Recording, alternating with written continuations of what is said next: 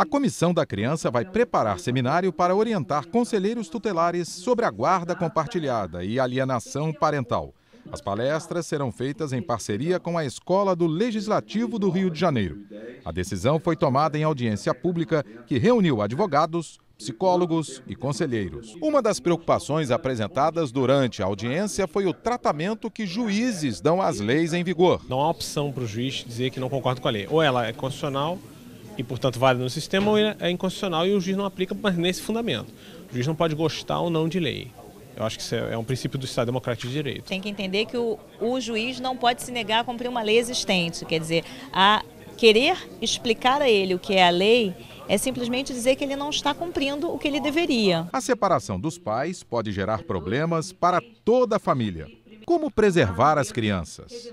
A gente tenta é, é, trabalhar informando, é, informando famílias, é, trabalhando junto ao judiciário para que é, o tempo dos processos seja diminuído, para que os pais se informem, para que a, o foco, da, na verdade, seja a criança, é, o foco principal de, de, desse, desses processos seja a criança. Isso é que é o mais difícil que, das pessoas entenderem. O diálogo entre as partes ajuda os pais e os filhos a entenderem a função da guarda compartilhada, sem a necessidade de um julgamento. Mas às vezes isso não é possível. A ideia nossa é, até com o novo Código de Processo Civil, propiciar através de uma psicoterapia que surja ao menos o diálogo apto a permitir o convívio saudável dessa criança com seus pais. É um outro foco. Então, o julgamento não é a prioridade, porque o julgamento é o mais fácil. O mais difícil é recompor esse diálogo para permitir que a criança tenha um desenvolvimento saudável ao longo do processo. Dia 4 de outubro vai se realizar a eleição dos conselhos tutelares. A preocupação é por qualificar essas pessoas, que vão ter contato direto com as crianças. E a gente vai também, através da Escola do Legislativo, preparar com o apoio aqui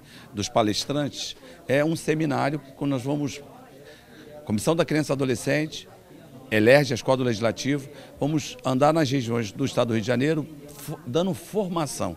A verdade é porque a eleição do Conselho Tutelar tornou-se hoje um trampolim para candidatos a vereadores, é, é, é, o cabo eleitoral de luxo do vereador.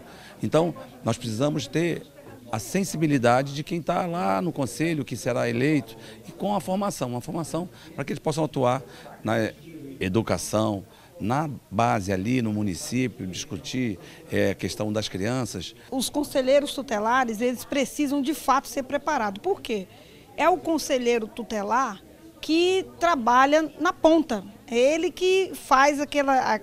É ele que está próximo da criança, é ele que está próximo da família e eles precisam de fato estar preparados para isso. Na audiência pública também foi debatida a campanha de esclarecimento para agentes do Estado quanto à prática da alienação parental. Precisa dar a formação para esses conselheiros, sensibilizar os agentes públicos, quer seja de todos os níveis, no município, no Estado e federal. E a lei estadual, ela, como eu disse, tem algumas limitações, mas a gente pode avançar muito muito na questão do esclarecimento, da publicização é, da Lei 12.318, na alienação parental e também na Lei da Guarda Compartilhada.